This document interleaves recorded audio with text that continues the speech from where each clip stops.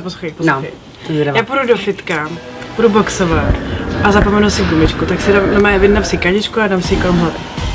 No a jak pak budeš cvičit s tou botou Přesně, zavázanou? to je blbost. spadne, víš, asi. No a taky nezdá teda. No jak by se to vymyslel, nebo jako, jaký je vlastně to zadání? No, No máme prostě natočit videa a ta kampaň vystihuje, že můžeš používat módu na všechny příležitosti. Použiješ tu věc, to je dobrý. kterou- každodenní věc, kterou nosíš prostě a máš ráda. Jo. jaký nápady?